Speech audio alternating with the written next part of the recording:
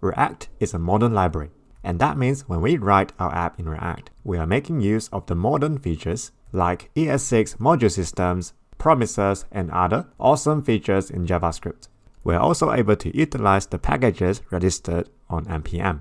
And that means we can leverage on the open source packages created by some other developers to speed up our app development process. However, there are a few implications here that we need to consider. Number one, we need to find a way to load all the files from our project to the browser, and also including all the npm packages that we have installed for the project. This is not a big problem for modern browsers that supports ES6 features. However, it will be a massive problem for Stone Age browsers like Internet Explorer. Seriously guys, make the world a better place by stop using Internet Explorer. Anyway, to add all the modules and dependencies into our browser, we'll need to carry out an operation called bundling. Bundling simply means that to combine all the files in our project into fewer files and load these files into the browser. This process is very similar to bundling items in real life, except that we're bundling files rather than items in our web app. Now to bundle files, we need a bundler. There are a lot of bundler out there in the wild, and I would say the most popular ones at the time of recording this video are Webpack, Vite, and Rollup. The official bundler of React is Webpack, but in this tutorial series, I'm going to use Vite because I like Vite better. I'll show you how to set up a React project using Vite later. But for now, let's discuss the next problem, where the modern features of JavaScript are not supported in all the browser, like the bloody Internet Explorer.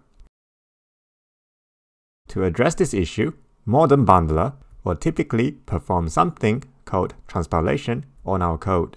Transpiling simply means that to convert our modern JavaScript codebase into something that's compatible with Internet Explorer, so our code can run in that abomination. You also probably will hear about the word polyfilling, which simply means adding the necessary code to our codebase so that a certain modern feature will work in an older browser.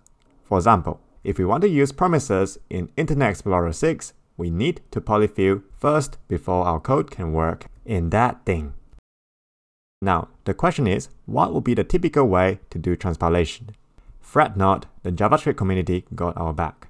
There is an amazing JavaScript transcompiler called Babel that will do all the hard work for us, and it can be integrated seamlessly into Webpack or Vite. Now typically, if you're setting it from scratch, you might want to do a few configurations, which could be quite scary for beginners. But fortunately, if you're starting a React app in the official way, all these configurations have already abstracted away from you. So you don't really need to touch anything, and you're gonna have a working bundler and Babel ready to go. Alright, so that's a high level explanation on a bundler and transcompiler. Let's go to our code now and look at how we can set up a brand new React project using Vite. Vite actually provides us an easy way to scaffold a fresh React project.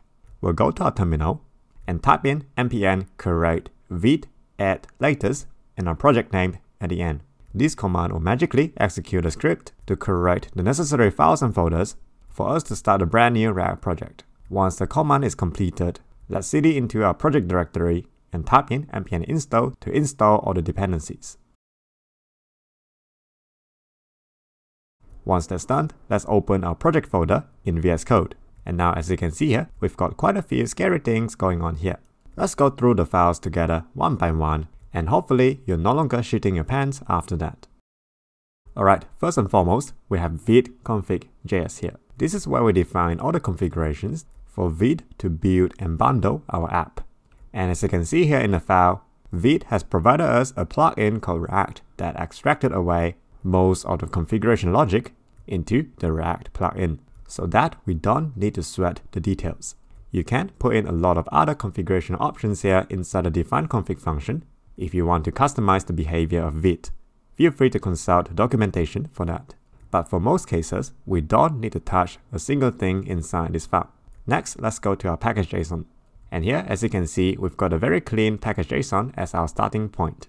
Vite does provide us a few handy scripts which we can use for development and production purposes. The dev script is the main command that we'll be using in our development. It will start a hot reload server that will listen to all the changes that we have in our project. and magically update the DOM files. You'll see how it works later. The build script is where we tell Vite to build our app. So Vite will compile all the assets in our project into files that are optimized for productions. We only need this command when we are ready to deploy our app. Now the preview script will start a web server in your local machine for you to preview your production build. Everyone that's connected to the same Wi-Fi will have access to this web server. It is a quick and easy way for you to share your website with your friends and family. Next, let's take a look at the index.html. This is the main entry point of our website. It is just a simple HTML that contains one div with an ID of root and also a script tag linked to the main JSX file inside our source folder. So the idea is simple. The JavaScript inside the main JSX file will build and mount the React app into this div with the ID of root. And now at this point, you might be wondering, what the hell is JSX? Why don't we use JS file? You see, the notion of JSX is a special kind of syntax that allows us to write HTML-like code in JavaScript.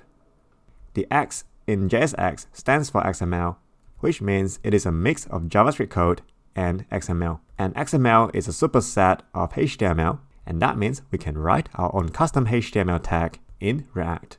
If you're confused at this point, don't worry, I promise it will be clearer later on. The takeaway here is that if you name your file as JSX, VS Code can offer a better auto-completion and syntax highlighting to you. Alright, now let's take a look at the main JSX file. And as you can see here, it's a normal JavaScript file, but with a twist. There are two things that I need you to take note of. First of all, we are seeing custom XML tags inside our JavaScript code. So the XML tags from line 7 until 9 are exactly what I was talking about earlier. This is JSX, the mixing of JavaScript code and XML tags. And you can see that we are importing a custom HTML element on line 3 and use it on line 8. Now the second thing that I need you to take note of is that on line 4, we are importing a CSS file. This is not possible on vanilla JavaScript. However, since we are using a bundler like Vite, it is now possible for us to import all the assets files including CSS and images into our JavaScript code.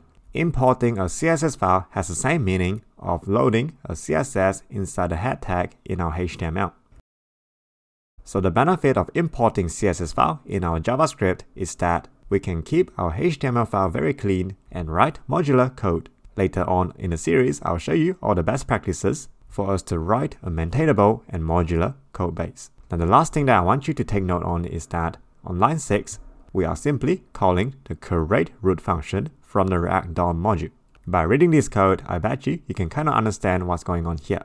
So this line of code is essentially telling React to use the element with the ID of root as the base or the root of the entire app.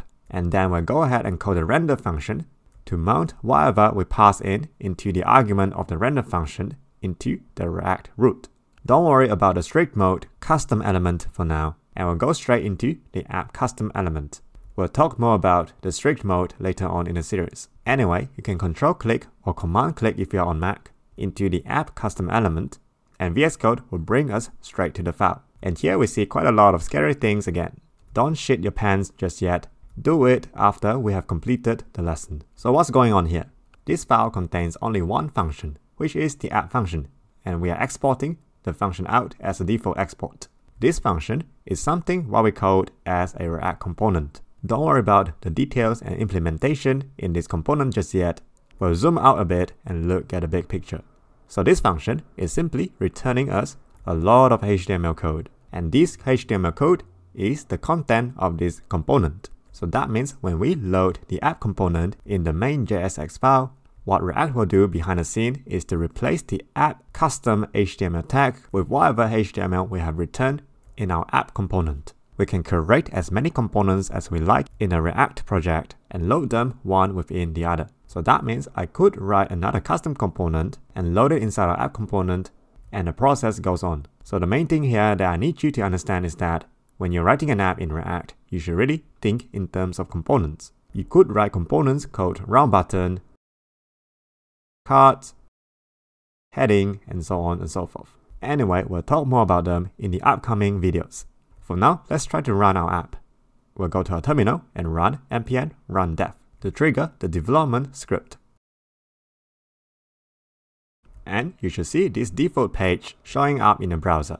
If not, that means you have up somewhere. And I want to show you one last thing before we end the lesson. Remember the hot reload server that I was talking about just now? Let me demonstrate it to you now. As soon as I make some changes in our source code, we can see the changes applied to the DOM almost immediately without me refreshing the browser page. And this is the voodoo magic of Hot Module Reload, HMR for short. Alright, key takeaways for this lesson. Bundler like Webpack or Vite compiles or bundle our project files and they'll take care of file imports and optimization so we don't need to sweat the details. They both transpile and polyfill our codebase so our app can be compatible in older browser like Internet Explorer. JSX syntax allow us to write XML in JavaScript code. Hot Module Reload or HMR magically updates the browser on file changes. React is a great library, so don't shit your pants. That's it for now, and I'll see you again in the next video. If you enjoyed the content of this video, don't forget to hit the like, subscribe, and the bell icon for more content to come. It will really help me out. Thanks for the support.